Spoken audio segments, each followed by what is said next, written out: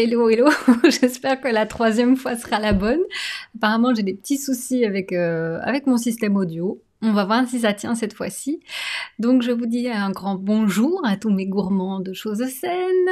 Euh, Aujourd'hui donc des papotes diététiques un petit peu plus tardives qu'à l'habituel parce que ce matin j'avais besoin de prendre un grand bol d'air. Euh, toute cette semaine j'ai vu ce beau soleil et cette neige par la fenêtre et je tenais plus ce matin donc j'ai dû aller me, me promener. Euh, ça fait vraiment du bien et puis je suis remotivée pour euh, bien travailler pour le reste de la journée. Alors aujourd'hui, j'avais envie de vous parler des yaourts parce que c'est une question qui revient souvent en consultation. Euh, la question qui est autour des yaourts. Alors, euh, la première question, c'est est-ce que je dois en consommer? Alors avec moi, il n'y a pas de je dois, il faut. C'est vraiment en fonction de vos préférences. Si vous n'aimez pas les yaourts, eh bien euh, vous pouvez vous en passer et on trouvera des sources de calcium ailleurs. Il y a plein de sources de calcium végétal, donc ça pose vraiment pas de problème du tout. Mais alors quand on en consomme, que, euh, que préférer et que choisir pour sa santé j'ai souvent la question qui me revient euh, et, on me demande, mais euh, si je fais attention à ma ligne que je veux perdre du poids, est-ce que je dois choisir des yaourts maigres? Alors ma réponse est non. Je préfère les yaourts entiers nature aux yaourts maigres. Pourquoi? Parce que dans les yaourts entiers, de toute façon, on n'a que 5% de matière grasse, euh, ce qui n'est pas énorme. Hein. Quand on choisit une viande maigre, on choisit une viande qui a 5% de matière grasse. Au-delà, c'est 10, et alors on, a, des viandes qui sont quand même plus grasses. Mais en dessous de 5% de matière grasse, on estime que le produit, en tout cas que la viande est maigre. Donc pour le produit laitier, pourquoi ne pas rester avec un yaourt qui a environ 5% de matière grasse? Je vais vous partager un petit peu mon écran. Euh, et, vous montrer, euh, on, va aller regarder les produits, les étiquettes, euh, un peu le Nutri-Score pour, pour, voir ce qu'il en est. alors ici, hop, je fais comme ceci en espérant ne pas tout faire sauter. Euh, ici, donc, j'ai un yaourt nature bio euh, dans le Nutri-Score. Attendez, moi je le vois pas. Ici, il est B. Euh, pourquoi? Eh bien justement parce que il y a un petit peu plus de matière grasse, il n'est pas à zéro, il y a des matières grasses et donc pour ça euh, il y a un Nutri-Score B, il y a aussi pas de fruits ni de légumes dedans, donc voilà. Par contre on va regarder ici dans la liste des ingrédients. Donc c'est un yaourt entier au ferment vivant, issu de l'agriculture biologique, ok. Euh, il contient du lait comme allergène, ok. Euh, et alors, euh, voilà, on a ici, on n'a pas les valeurs nutritionnelles, on va essayer de, retrouver ça sur un autre... Ah si, elles sont là, ah, elles ne sont pas renseignées. On va aller voir ça sur un autre pot. sur celui-ci, ah, celui-ci c'est le Greek Style et lui il est à C parce que le yaourt à la grecque, il est plus gras que le yaourt classique. Là non plus, aujourd'hui, j'ai pas, pas le droit aux valeurs nutritionnelles. Bon, tant pis. Euh, le yaourt à la grecque, il est en général, euh, contient en général entre 9 et 10% de matière grasse. C'est pour ça qu'ici, il a un, moins bon Nutri-Score. Euh, mais qu'est-ce qu'il en est finalement de ce yaourt? Parce qu'on peut aller regarder les yaourts, les yaourts classiques, nature, on va regarder un petit peu. Euh, on va voir que les yaourts 0%, ils ont un Nutri-Score A. Euh, bah, il est ici. Euh, il a le 2% de matière grasse Greek Style aussi. 2% de matière grasse. Euh, on a le skir qui a aussi 0% euh, de matière grasse qui a un Nutri-Score A. Euh, ce qu'on peut aller voir, ce sont les ingrédients justement dans les yaourts qui ne contiennent pas beaucoup de matière grasse. On va aller chez Phage, on va aller regarder un petit peu ce qu'ils nous raconte. donc ici, on voit bien que nous n'avons pas de lipides, donc c'est 0, et on a 10% de protéines, ce qui est super bien. Et euh, il contient du lait écrémé et des ferments lactiques. Donc là, on a un produit qui est assez clean et, euh, et, donc qui peut tout à fait être consommé. À 0% de matière grasse, je vous dirais que le goût, il est un petit peu moins bon. Je vais arrêter le partage pour l'instant. Euh, le, goût est un peu différent. Euh, vous allez voir quelque chose d'un petit peu plus sec, on va dire, euh, qu'il faudra probablement aromatiser. On sent beaucoup plus le côté acide du yaourt généralement quand il est maigre. le yaourt donc entier à 5% de matière grasse, c'est pas grand chose. Il a l'avantage d'être un tout petit peu plus onctueux et d'être un peu moins acide euh, et de rassasier peut-être un peu plus grâce à, la quantité de matière grasse qui est dedans. Donc vraiment, allez regarder dans euh, la liste des ingrédients parce que souvent dans les 0%, surtout s'ils sont aromatisés, vous allez retrouver, on peut aller faire l'exercice et regarder un petit peu euh, ce qu'on va retrouver comme yaourt. Hein.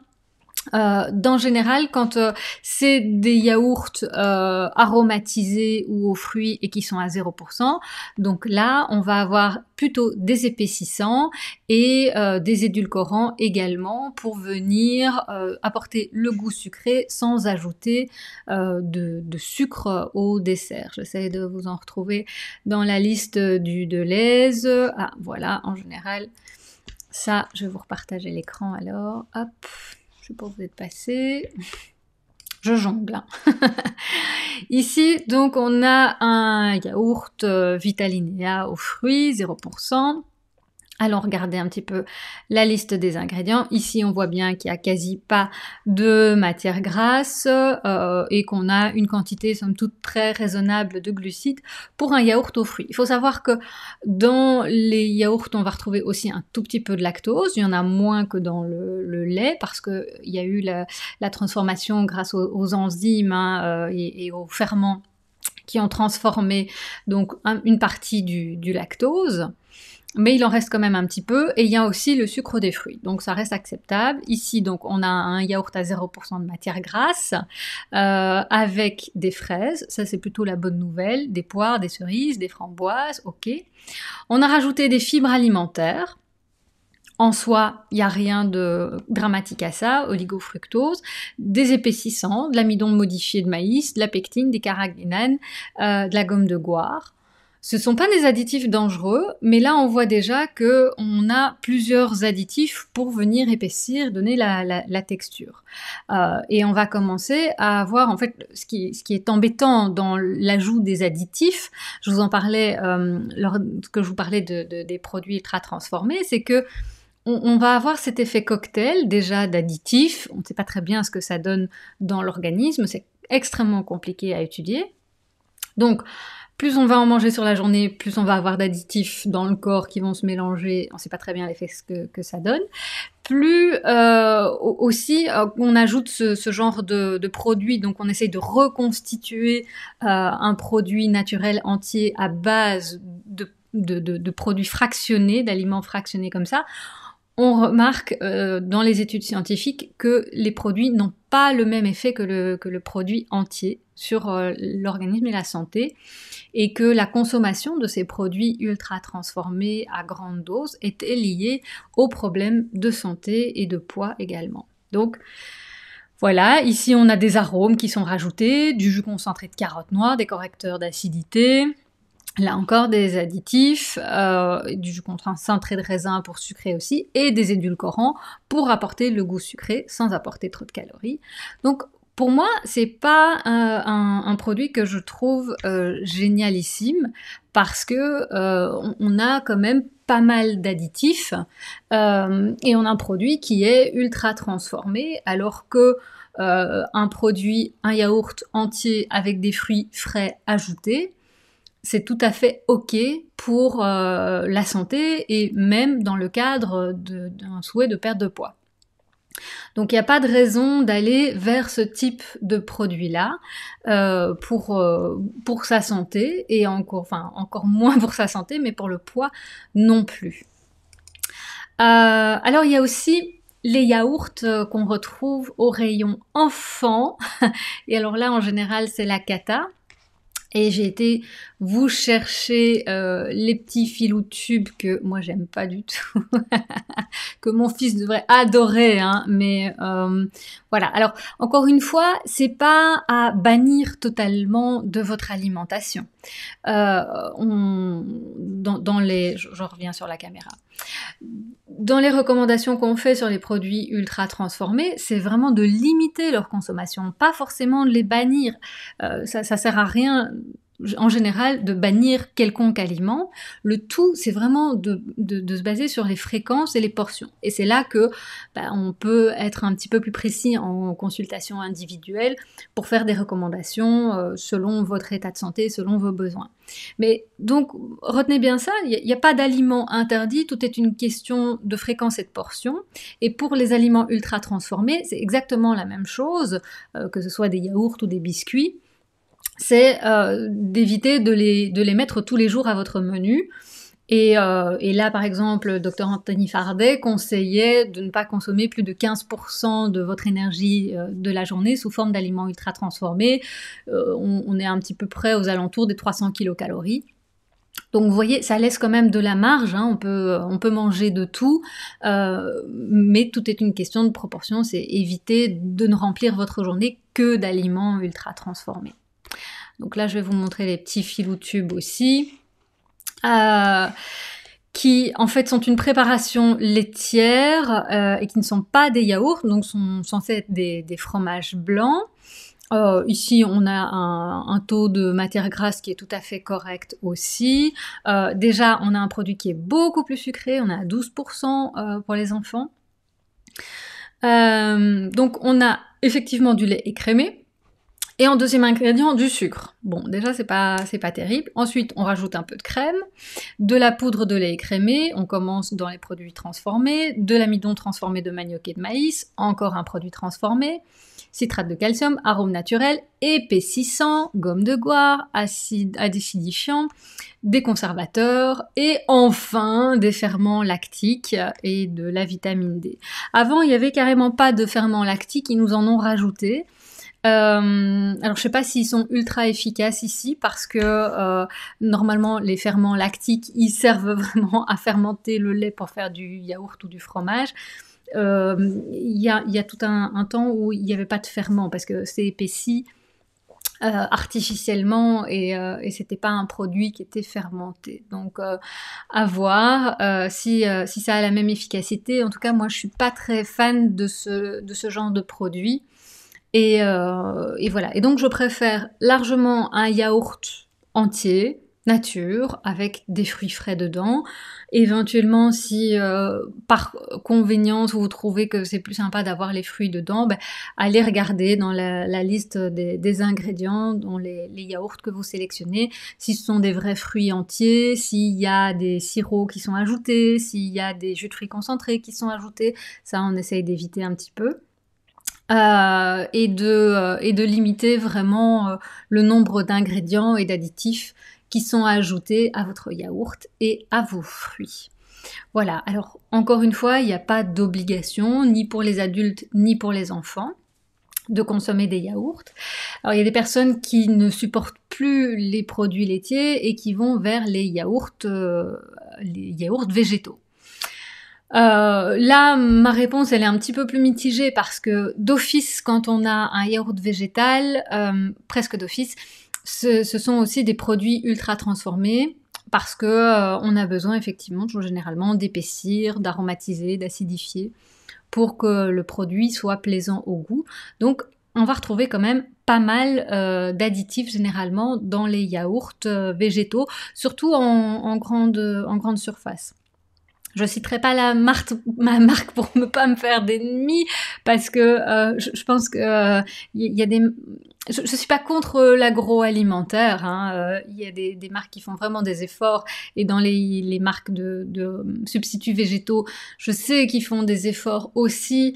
mais ça reste des produits par nature ultra transformés.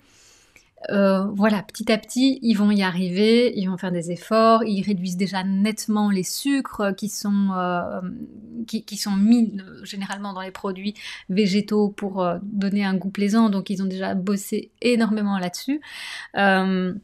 et comme il y a des demandes des consommateurs, ils vont bosser aussi sur la réduction des additifs et la reformulation de leurs produits. Il faut leur laisser un petit peu le temps, ça va venir aussi. Euh, en, magasin bio, il y a des produits qui sont un peu plus standards, un peu plus neutres. Je pense que je vous avais déjà parlé euh, de mon petit chouchou qui est euh, le, yaourt coco de Abbott qui n'est pas franchement un yaourt et qui est très gras. Alors il est délicieux, mais on a le lait de coco. Pardon. Dès que je parle, j'ai un chat dans la gorge. On a euh, un lait de coco qui est donc à 17% de matière grasse, donc on est bien au-delà des 5%, euh, et qui a été fermenté, et ça donne un produit tout à fait délicieux et onctueux, mais c'est vraiment très gras. Donc là, quand on le consomme, il faut pas le consommer en même quantité qu'un yaourt classique, parce que c'est vraiment, euh, c'est vraiment beaucoup plus gras. Donc quand on fait attention à son poids, on diminue les quantités aussi, mais le produit il est très clean euh, sur, euh, sur la composition et j'adore sa saveur quoi. Donc euh, vraiment pour faire un petit topping sur les fruits c'est chouette, mais pas consommer un grand bol comme ça avec ses fruits et son granola. Ben, sinon ça fait une, bonne collation bien bien bien rassasiante. Mais voilà, ces produits-là sont, sont, un peu plus gras, donc mon conseil, c'est toujours d'aller regarder les étiquettes, les listes d'ingrédients pour euh, trouver des produits euh, qui sont les plus naturels possibles et, les moins euh, trafiqués, avoir un taux de matière grasse qui reste raisonnable et éviter trop de sucre aussi dans le produit. On conseille généralement pour des produits sucrés, les, entremets euh, et, tous les, yaourts sucrés, euh, d'essayer de rester euh, à un maximum 6% de sucre. Hein. Vous voyez, si vous arrivez à voir dans la liste des ingrédients le pourcentage de sucre.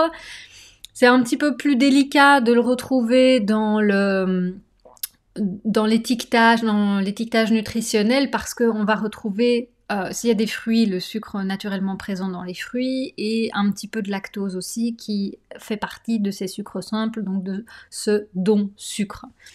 Euh, voilà, mais, euh, mais en dessous de, 10%, c'est vraiment bien au niveau de, des glucides.